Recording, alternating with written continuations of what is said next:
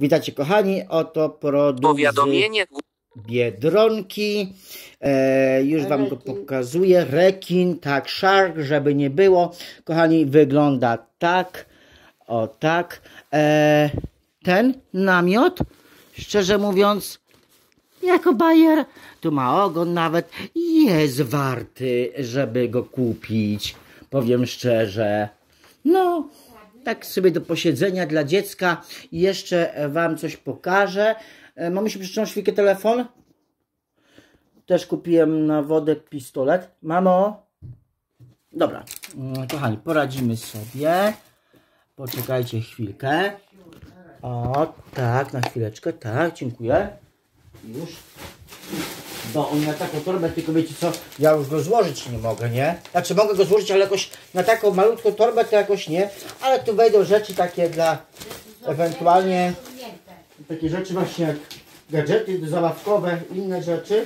No i kupiłem jeszcze oczywiście taki oto o, słuchajcie, nie pogadasz teraz z dzieciakiem, nie pogadasz z takim dzieciakiem, bo sobie bierze na plecy. O, ja go wezmę. A, odwrotnie. O, ja go wezmę tak. Ale on ma takie dwa, jakby, jakby plecaczek. No i patrzcie, moi drodzy, już wam go pokażę. O. O. I. Mamusiu, Wychodzę. można chwilkę wziąć tylko? Nie, nie mogę, Czemu?